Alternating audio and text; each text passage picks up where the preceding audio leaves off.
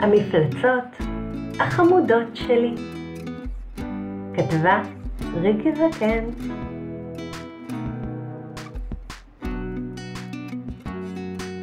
ראיתי היום שתי מפלצות לבדן רצות בין הפרחים בשדות. שתי מפלצות חמודות, האחת לבשה ורוד, השנייה לבשה סגול. רצות לצד ימין, רצות לצד שמאל. הן רוצות להיפגש באמצע השביל, ואינן מצליחות. באמצע השביל יושב שם אני, צופה מן הצד, ממתין אולי, הן יצליחו לבד. אך מי שפגש פעם מפלצת, כבר יודע טוב, מפלצות לא יודעות לחשוב.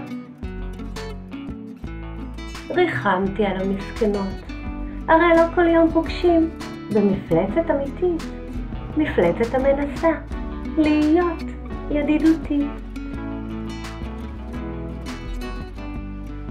ואותי תמיד הזהירו, אמרו לא לסמוך על המפלצות. אמרו זאת מפני שהן חסרות רגשות. בזהירות התקרבתי, ביקשתי מהן לעצור, הסברתי, זה מה שעושים כאשר רואים בור. המפלצות החמודות קפצו לבור בכל זאת. מפני שזוהי דרכן של מפלצות כמובן, לרוץ לשם, לרוץ לכאן.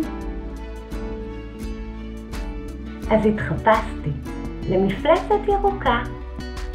רצתי ימינה, רצתי שמאלה. באמצע חיכה לי הפרפר.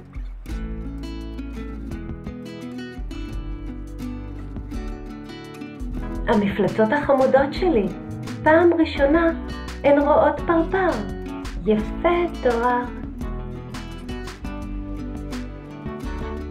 וכל אשר ביקש הפרפר זה לשוב לביתו ולהיות מאושר. עצרתי, ליד פרפר, בשקט התיישבתי.